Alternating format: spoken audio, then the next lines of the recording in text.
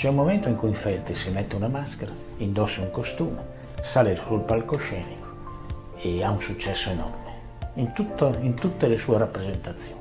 È il numero uno, questo è l'attore. Poi c'è l'uomo, che è diverso, mm, forse è migliore. Glielo chiedo. Beh, se lo dice Farinotti rischio anche di crederci, però non del tutto.